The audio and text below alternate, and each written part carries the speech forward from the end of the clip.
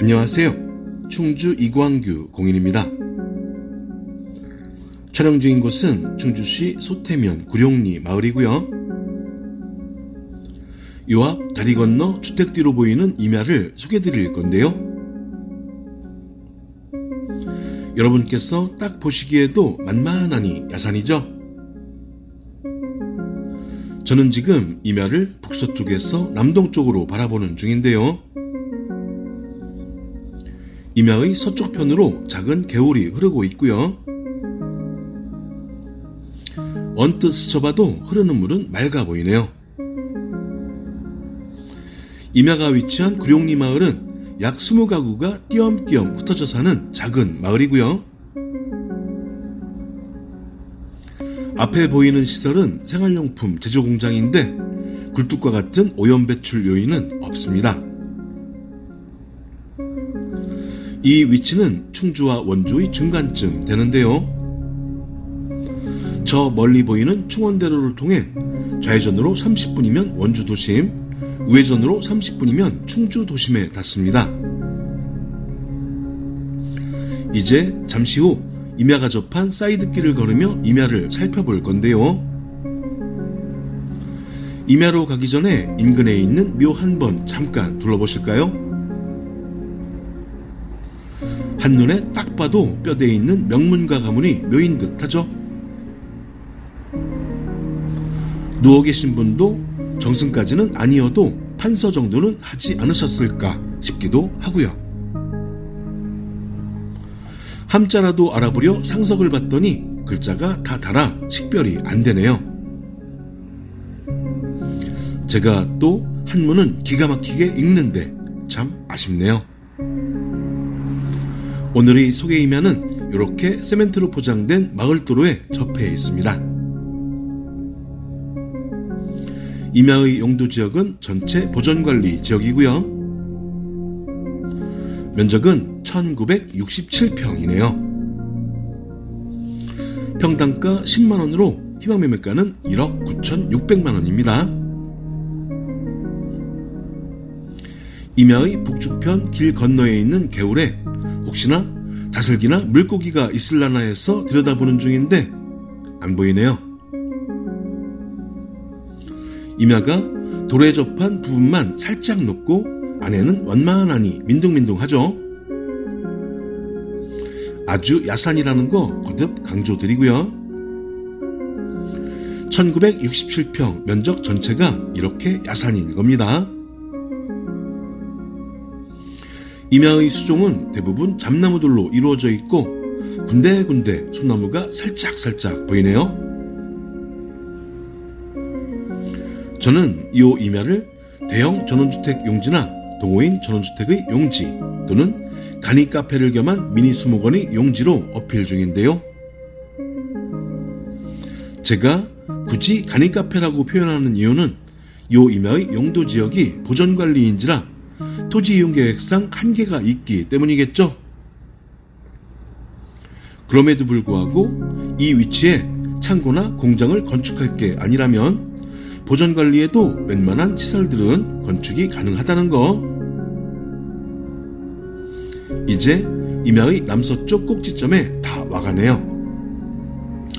풀이 나 있는 곳의 오른쪽 끝 라인이 임야의 남쪽 경계이고 직선으로 경계가 뻗어가는데 잠시 후 지적도로 설명드리겠습니다. 그러니까 이 오른쪽부터는 매매 대상이 아니라는 거겠죠. 눈치 빠르신 분들께서는 벌써 예상하셨겠지만 이 위치에 묘 한 기가 있었는데 올해 봄에 이장을 했습니다. 제가 임야를 매매할 때마다 어필하는 게 있죠. 나지막한 임야는 밭보다 비쌀 수 있고 비알밭은 임야보다 쌀 수 있다는 거. 충주권에서 2억으로 도로 접한 밭 같은 관리지역 임야 2천평 사기 무지하게 어렵습니다.